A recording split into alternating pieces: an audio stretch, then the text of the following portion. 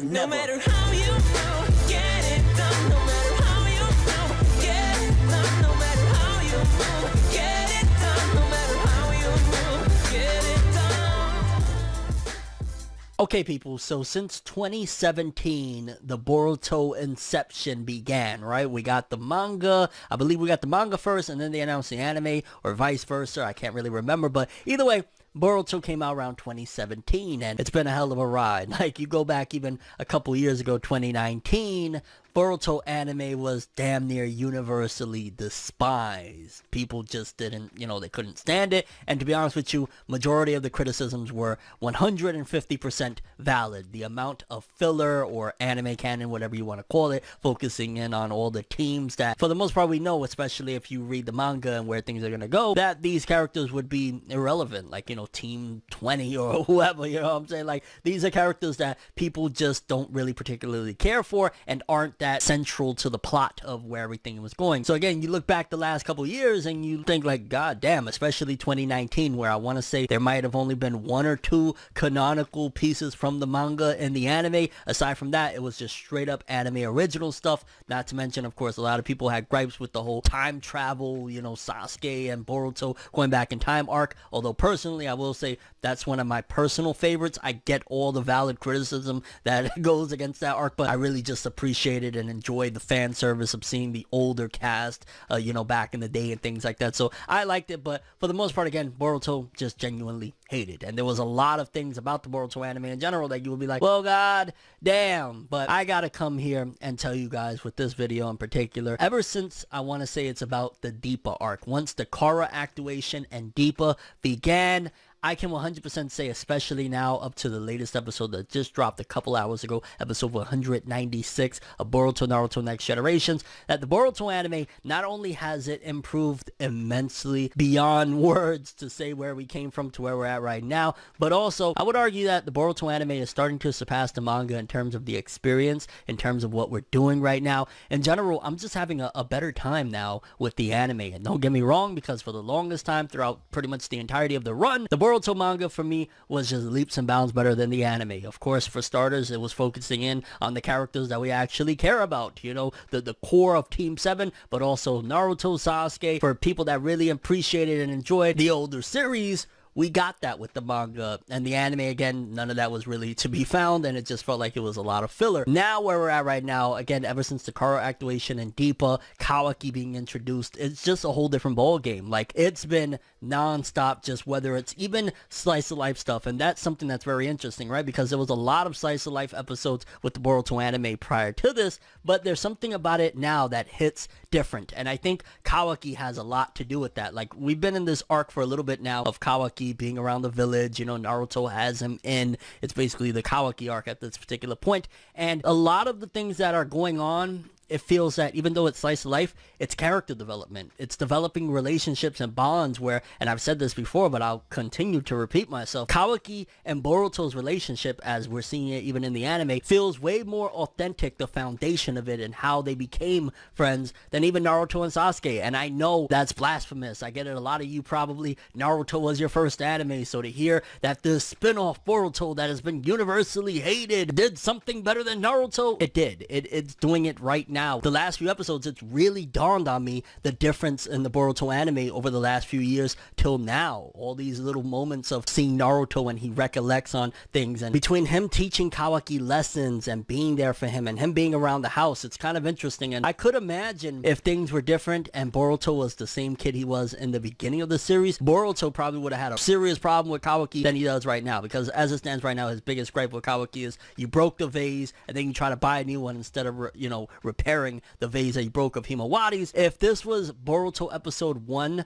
where he, you know, had this really big problem with Naruto, that he's never home and things like that, I could have imagined Naruto staying home for Kawaki would have really gotten him upset and he would have done some dumb things that could have caused a big stir up in that Uzumaki household. So we're seeing even the character development that the series has brought forth up until this point, of Boruto not throwing a tantrum with his father being there mainly for Kawaki and things like that, but just seeing Naruto around the house and again constantly guiding Kawaki and the themes. Oh my god, that one particular theme that it's been around for a while, but it just always hits when Naruto reflects on the pain that he's been through. Man, every time he's going through a moment with Kawaki or Kawaki is thinking back to something traumatic, like I want to say it was 195, either 194 or 195, where Kawaki went to go get the vase and the vase dropped and he was having a flashback of Jigen doing horrible things to him and Naruto embracing him and giving him that hug. It's giving so many different lessons there, showcasing so many different metaphors and things like that of having a horrible parent and what a real parent is supposed to be like with Naruto, the way he's teaching Kawaki. I think that Kawaki coming to the series has been one of the biggest things to save it. I wish things would have been different and Kawaki would have been in a long time ago because we're just seeing the difference now. All of these episodes that even, again, feel like kind of slice of life and they're like half and half with some stuff from the manga, some stuff is like anime original-ish. They're doing an incredible job. They're doing an amazing job to the point where I'm like, I was kind of dreading getting to this point for a little bit now, knowing that, you know, Studio Pierrot, they they might go off on a tangent with putting different episodes and things like that, but they've been actually handling this Kawaki arc of him being in the village and him, you know, being watched over by Naruto very well. They're using it to, you know, put him in different scenarios with Sarada Mitsuki and them and him and Boruto's relationship and how it's slowly forming into a brotherhood. Like they're doing a phenomenal job and I honestly came to say that the Boruto anime now is definitely watchable at the very least because that's always been one thing like is it at least watchable? It is 100% watchable but also it's starting to become a better experience than the manga which I could not say. Two years ago I absolutely would have shunned myself. For World two years ago would probably be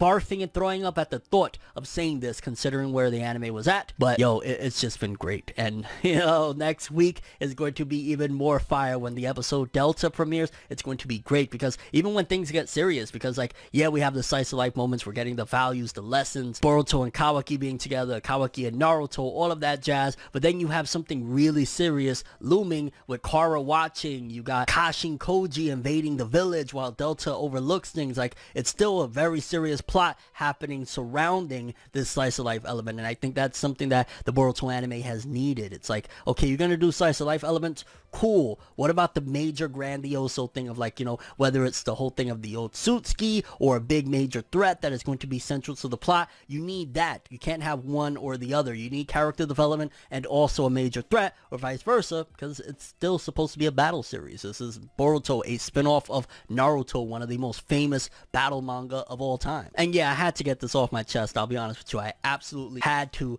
let people know that the Boruto anime it's safe. It's been safe. If you haven't watched it in a really long time I highly recommend go back check out which episode in particular it is where the Kara activation with Deepa begins and you can pretty much watch damn near almost all the episodes from there up until where we're at right now with episode 196 because it's been a real hell of a treat. The art the animation has improved. It seems like Studio Pierrot they realized yo we need to actually put some love and care into this series and it took a long time don't get me wrong. I don't blame anybody for having those preconceived notions about the Boruto anime considering it's been a rough road but yo Boruto fans we're eating now. We're getting great quality content and we deserve these episodes and we're gonna enjoy them. I'm having a blast with it. I'm loving it. I'm loving the little moments of Kawaki learning lessons via Naruto's traumatic past and, you know, seeing Kawaki's traumatic past in between it of Jigen. Like, yo, with the latest episode when Jigen kept hitting him with the rod and shit, I wanted to jump through my screen and grab Jigen by the neck, you sorry son of a... And yeah, I'm really curious though if you've been following the Boruto anime as of recent. What do you think about it? Do you feel like the Boruto anime at this point as an experience and in general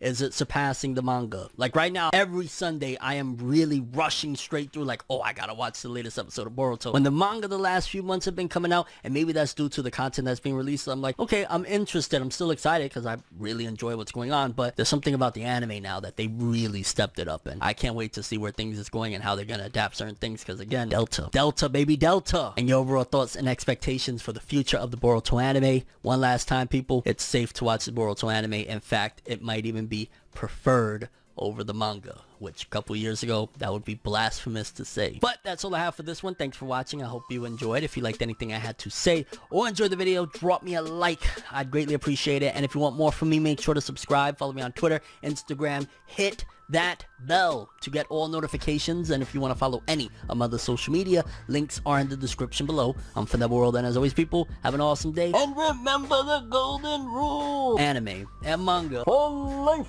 boy. Have an awesome day. Peace and big ups to the Boruto anime. Doing the damn thing. We've come a long way. Let's enjoy.